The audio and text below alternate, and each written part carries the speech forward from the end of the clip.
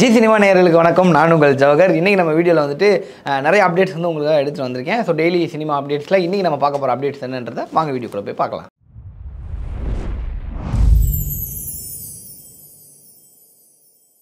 ரஜினியோட ஒரு நண்பர் உயிரிழந்தாரா? அதனால் வந்து ரஜினி ரொம்ப அப்செட்டாக இருக்காரா? அப்படின்ற மாதிரியான ஒரு விஷயம் தான் நேற்று வந்து நடந்துச்சு. என்ன அப்படின்னா துவாரா கிஷ் அப்படின்ற ஒரு நண்பர் அதாவது கர்நாடகாவில் ஒரு காமெடி ஆக்டர் அண்ட் ப்ரொடியூசர் அதுக்கப்புறம் வந்து பார்த்திங்கன்னா நிறைய படங்கள் வந்து டேரக்டும் பண்ணியிருக்காரு. ஸோ இந்த மாதிரியான ஒரு மனுஷர் ரஜினிக்கு வந்து ரொம்ப நெருங்கிய நண்பர் அப்படின்ற மாதிரி இருக்கக்கூடிய துவாரா கிஷ் அவர்கள் வந்து நேற்று ஈவினிங் வந்து இறந்துருக்காரு அப்படின்ற நியூஸ் வந்து வெளியே வந்துச்சு. என்ன விஷயம் அப்படின்னு பார்த்தீங்கன்னா ரஜினிகாந்த் வந்து பெங்களூர்லேருந்து தான் தமிழ்நாட்டுக்கு வந்து வந்தார் அப்படின்றது எல்லாத்துக்கும் தெரியும். அவர் வந்துட்டு ஒரு ப்ராப்பரான ஒரு கர்நாடகா அங்கேருந்து வளர்ந்து படித்து எல்லாமே வந்து அங்கேயே கண்டக்டர் வேலை பார்த்து அங்கே தான் அவருக்கு நிறைய ஃப்ரெண்ட்ஸ் வந்து இருந்திருக்காங்க அப்படின்றது ரஜினி சாரே நிறைய இடத்துல சொல்லியிருக்காங்க. ஆக்சுவலாக அவரோட ஃப்ரெண்டோட உந்துதல்னால தான் அவர் இந்த நடிக்கிறதுக்காகவே வந்தாருன்னு சொல்லியிருக்காரு. ஸோ அப்படி இருக்க ஒரு டைமில் அவரோட நெருங்கிய நண்பராக அப்போ இருந்தே நண்பராக இருந்த ஒரு துவாரா கிஷ் தான் வந்து இறந்து போயிருக்காரு. ஸோ அதனால் ரஜினி அவர்கள் வந்து ரொம்ப மன வருத்தத்தில் இருக்காங்க அப்படின்றது அவரோட போஸ்ட்டை பார்க்கும்போது தெரிஞ்சு. எக்ஸ் வலைதளத்தில் ரொம்ப ஆழ்ந்த இரங்கல்கள் துவாரா கிஷ் அவர்களோட ஃபேமிலிக்கு வந்து சொல்லியிருந்தாரு. துவாரா கிஷும் வந்து ஒரு சாதாரண ஆள் கிடையாது. கர்நாடகாவில் எக்கச்சக்க படங்களில் காமெடியனாகவும் கிட்டத்தட்ட படங்களில் கா ஒரு ஒரு கேரக்டர் ரோலும் நிறைய படங்களில் பண்ணி பண்ணியிருக்காரு. அது மட்டும் இல்லாமல் ப்ரொடியூஸ் பண்ணியிருக்காரு நிறைய படங்களை. ஒரு படங்களில் வந்து டைரக்ட் பண்ணியிருக்காரு ஒரு சில படங்கள். ஸோ அவரும் வந்து ஒரு சக்ஸஸ்ஃபுல்லாக ஒரு செலிபிரிட்டியாக தான் இருந்திருக்காப்புல. அவர் வந்து எண்பது வயசில் மாரடைப்பு காரணமாக வந்து இறந்து போயிருக்காரு நேற்று ஈவினிங் ஸோ அதனால் ரஜினி வந்து ரொம்ப சோகமாக இருக்காரு. அது மட்டும் கிடையாது தமிழ்லையும் ஒரு சில படங்கள் வந்து அவர் இயக்கி தயாரிச்சிருக்காரு. அது என்ன படங்கள் அப்படின்னா நான் அடிமை இல்லை அப்படின்ற ரஜினிகாந்த் படத்தையே வந்து இயக்குனது துவாராகிஷ் அவர்கள் தான். அது மட்டும் இல்லை சாருலதா அப்படின்னு சொல்லிட்டு பிரியாமணி அவங்க வந்து ரெட்டை வேடத்தில் நடிச்சிருப்பாங்க ஒரு படம். அந்த படத்தை தயாரித்தது நம்ம துவாரா கிஷ் அவர்கள் தான் எஸ்டிஆரின் ஐம்பதாவது படத்தை இயக்க போகிறது யார்? அதாவது வந்துட்டு எஸ்டிஆர் அவர்கள் வந்து கொஞ்ச நாட்களுக்கு முன்னாடி வரைக்கும் எஸ்டிஆரோட ஃபேன்ஸுக்கு ரொம்ப வருத்தமாக கிட்டத்தட்ட ஆர்சிபி ஃபேன்ஸோட மனநிலைமை என்னவாக இருந்துச்சோ அந்த மாதிரி வந்து நடிக்க வருவாரா வரமாட்டாரா வந்து அப்படியே பல பழைய மாதிரி நடிக்க வந்தாலுமே வந்துட்டு அவரோட உடம்பு அதுக்கு ஒத்துழைக்குமா? ஏன்னா ரொம்ப ஃபேட்டாக இருக்கார் உடம்ப குறைப்பாரா மாட்டாரா பழைய சிம்பு நம்மளால் பார்க்க முடியுமான்னு எக்கச்சக்கமாக ஃபேன்ஸ் வந்து ஃபீல் பண்ணிட்டு இருந்தாங்க.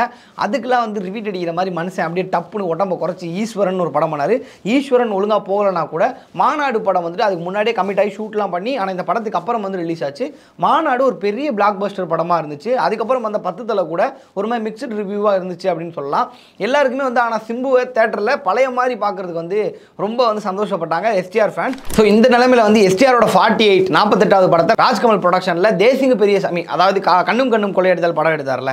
ஸோ அவர் தான் வந்துட்டு தேசிங்க பெரியசாமி வந்து எஸ்டிஆர் கூட நாற்பத்தெட்டாவது படம் பண்ணிட்டு இருக்காரு. ராஜ்கமல் ப்ரொடக்ஷனில் இந்த கதை வந்துட்டு ஒரு மாதிரி மார்ஷியல் ஆர்ட்ஸ் சம்மந்தப்பட்ட கதையாக இருக்கலாம். ஏன்னா வந்துட்டு சிம்பு அவர்கள் வந்து பயங்கர ஃபிட்னஸாக மார்ஷியல் ஆர்ட்ஸ்லாம் கற்றுக்கிட்டு இருக்காரு.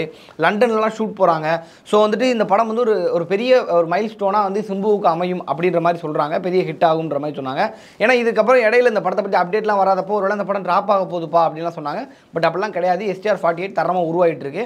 அதுக்கப்புறம் எஸ்டிஆர் ஃபார்ட்டி நைன் யார் கூட அப்படின்னு பார்த்தீங்கன்னா நம்ம அஸ்வத் மாரிமுத்து ஓமை கடவுளை டைரக்ட் பண்ணவர். இப்போ அவர் வந்துட்டு பிரதீப் ரங்கநாதனை வச்சுட்டு ஒரு படம் பண்ணிட்டு இருக்காரு இந்த படம் முடிஞ்சோன்னே STR forty nine Ashwath Marimuthu வந்து கதை சொல்லி பிச் பண்ணி வச்சிருக்காரு. ஸோ அந்த படம் நடக்கும் அப்படின்ற மாதிரி சொல்லுவாங்க இந்த டயத்தில் ஓகே எஸ்டிஆர் ஃபிஃப்டி ஐம்பது அதுக்கு ஒரு எதிர்பார்ப்பு பெருசாக இருக்கும். ஸோ எந்த படத்தை யார் பண்ணலாம் அப்படின்னு பார்க்கும்போது நேஷனல் அவார்டு வின் பண்ண நம்ம சுதா கொங்கரா அவர்கள் அவங்களோட டேரக்ஷனுக்கு ஒரு பெரிய ஃபேன் பேஸ் இருக்குது ஸோ அவங்க தான் வந்துட்டு இந்த படத்தை வந்து எடுக்க போகிறாங்கன்னு சொல்லியிருக்காங்க. அவங்க வந்து ஒரு லைன் சொல்லியிருக்காங்க. அந்த லைன் வந்து சிம்பு அவர்களுக்கு ரொம்ப பிடிச்சி போகிறதுனால இந்த படத்தை வந்து நான் பண்ணுறேன் அப்படின்ற மாதிரி ஓகே சொல்லியிருக்காராம். ஸோ எஸ்டிஆரோட ஃபிஃப்டி வந்து இப்போ வரைக்கும் வந்த அப்டேட் படி சுதா குங்கரா தான் பண்ணுறாங்க ஓகே ஆகிருக்கு இவங்க வந்து புறநானூறு படம் சூர்யா வச்சு பண்ணிகிட்டு இருக்காங்க. இது முடிச்சதுக்கப்புறம் இந்த வேலைகள் ஆரம்பிக்கும். ஏன்னா அவருக்கும் வந்து ஃபார்ட்டி நைன் அஸ்வத் மாரிமுத்து கூட ஒரு படம் இருக்குது ஸோ அதெல்லாம் முடிச்சுட்டு இது நடக்கும். பொதுவாகவே நம்ம சுதா குங்கரா வந்து ஒரு ஆக்டர்கிட்ட வேலை வாங்கினாங்க அப்படின்னா அவங்களுக்கு ஒரு நேஷனல் அவார்டு வாங்கி கொடுக்குற அளவுக்கு அவங்கள்ட்ட இருந்து ஒரு ஒர்க்கை எடுப்பாங்க. ஸோ எஸ்டிஆரும் அதுக்கு பொட்டன்ஷியலான ஆள்.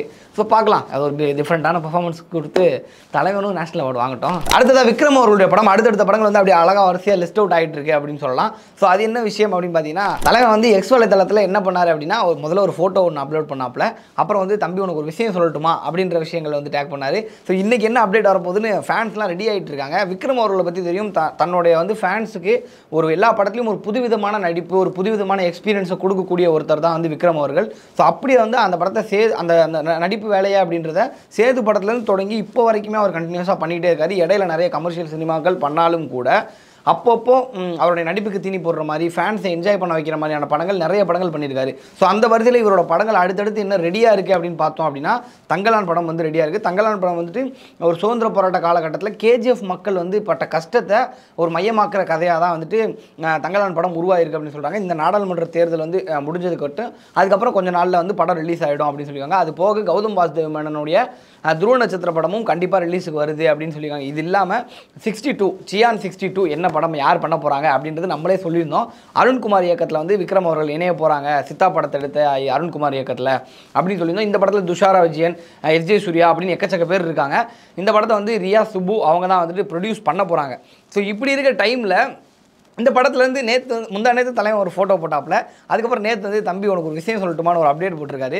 ஸோ இன்றைக்கி என்ன அப்டேட் வரப்போகுதுன்னு என் ஃபேன்ஸ்லாம் வந்து பயங்கர க்யூரியாசிட்டியோட இருக்காங்க. ஆனால் அந்த போஸ்டர் பார்க்கும்போது அந்த லுக்கை பார்க்கும்போது இந்த படத்தில் வந்துட்டு ஒரு கொள்ளையனா ஒரு திருடுற ஒருத்தனா ஒரு அந்த மாதிரி ஒரு லுக்கில் தான் அவர் பார்க்கும்போது இருக்காரு. பட் என்ன விஷயம் அப்படின்றது இன்னும் அடுத்து வர அப்டேட்டுகளில் தான் தெரியும். பட் விக்ரம் ஃபேன்ஸுக்கு இப்படி கண்டினியூஸாக அவர் டெய்லி அவரோட பேஜ்லேயே வந்து அப்டேட் கொடுக்குறது ரொம்ப ஜாலியாக இருக்கும். ஸோ விஷாலோட படத்தில் இவ்வளோ பிரச்சனை இருக்கா? நிஜமாவே? விஷால் வந்து ஏன் இந்த மாதிரி ரெட் ஜெயின் மூவிஸை தாக்கி பேசினாரு? அப்படின்றது தான் இப்போ கொஞ்சம் ட்ரெண்டாக போயிட்டு இருக்கு அது என்ன விஷயம் அப்படின்னு பார்த்தோம் அப்படின்னா விஷால் அவர்கள் வந்துட்டு இதுக்கு முன்னாடி நடித்த மார்க் ஆண்டனி படம் வந்து ஒரு ஒரு பெரிய சக்ஸஸ்ஃபுல்லாக எஜ்ஜே சூர்யா அவர்களாலேயே அந்த படம் வந்து ஒரு பெரிய அளவுக்கு ப்ரொமோட் ஆகி நிறைய ரசிகர்கள் அந்த படத்தை கொண்டாடினாங்க அப்படின்னு சொல்லலாம். பட் அந்த படம் ரிலீஸுக்குமே எங்களுக்கு எக்கச்சக்க பிரச்சனை வந்துச்சு. நாங்கள் அந்த படத்தை ரெடி பண்ணிவிட்டு ரிலீஸ் டேட் வந்து ரெட் ஜெயின் தான் எங்கள் படத்தை வந்து டிஸ்ட்ரிபியூட் பண்ணாங்க. ஸோ ரெட் ஜெயின்ட் வந்து என்ன சொல்கிறாங்க அப்படின்னா விநாயகர் சதுர்த்திக்கு நீங்கள் படத்தை ரிலீஸ் பண்ணக்கூடாது. இந்த டேட்டில் நீங்கள் பண்ணக்கூடாது. நாங்கள் சொல்கிற டேட்டில் தான் நீங்கள் வந்து படத்தை ரிலீஸ் பண்ணணும் அப்படின்னு சொல்லிட்டாங்க. பட் வந்து ஆனால் இப்போ எப்படி சொல்கிறாங்க அப்படின்னா இப்போ ரத்னம் படத்தப்ப விஷால் வந்து வாயை திறந்து சொல்கிறாரு இந்த மாதிரி எடுத்து பேசுகிறாரு ஏன் வந்து மார்க் ஆண்டனி அப்பவே பேசலை அப்படின்னா மார்க் ஆண்டனி அப்பவும் பிரச்சனை இருந்துச்சு.